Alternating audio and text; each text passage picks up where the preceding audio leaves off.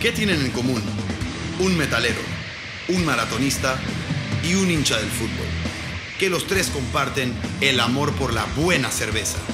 Acompáñanos en Buenas Pintas, el primer y único programa de Panamá dedicado al néctar de los dioses, al desayuno de campeones, al imperio cervecero.